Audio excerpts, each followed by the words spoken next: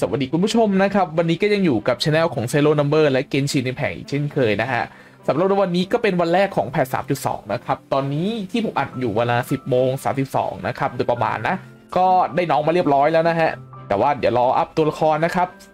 ซึ่งสำหรับใครที่จะฟาร์มตัวลูกเต๋าเนี่ยครับเผื่อหากันไม่เจอนะฮะก็ให้ลงมาตรงนี้นะครับ นี่นะ ไม่ต้องวิ่งไปตรงลูกเต๋าตรงนู้นนะลงมาข้างล่างนี่ก่อนนะครับ มันจะมีทางลงไปนะ อันนี้นะครับนะฮะพอลงมาแล้วก็วิ่งมาเลยนะฮะนี่นะครับ ตัวบอสมันอยู่ตรงนี้นะฮะทีนี้อะเดี๋ยวผมใช้ทีมิตีนะฮะคือตัวเนี้ยเวลาตีอะครับจะต้องพกท่านไม้กับไฟฟ้ามานะฮะคือไอ้ไฟฟ้าเนี่ยไม่ใส่ได้ไม่เป็นไร แต่ไม้นี่ห้ามลืมเด็ดขาด เพราะว่ามันจะมีกิมมิคช่วงท้ายนะครับ ไม่งั้นบอสตีไม่ตายนะบอกก่อน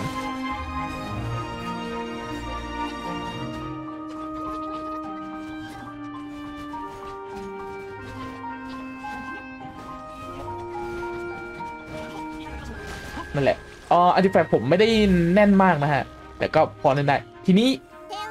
มันจะมีไอ้กิมมิคพวกนี้อยู่นะฮะ อันนี้นายดักกดไม่เข้า เว้นกรรม อะ ไม่เป็นไรเราตีสดก็ได้ อันนี้คือต้องเอาท่านไม้มาตีนะครับ ให้มันติดแบบนี้ก่อนนะ เพื่อที่จะให้มันชาร์จใส่ตัวบอสนะครับ ทีนี้ถ้าสมมุติอยากให้มันเร็วขึ้นนะครับ ก็เอาไฟฟ้ายัดใส่นะครับ แบบนี้ มันก็จะชาร์จเร็วขึ้นนะครับ อันนี้ก็ถ้าไม่ทันเลือดบอสก็จะรีแบบนี้นะฮะ ก็นิดหน่อยนะฮะไม่เป็นไร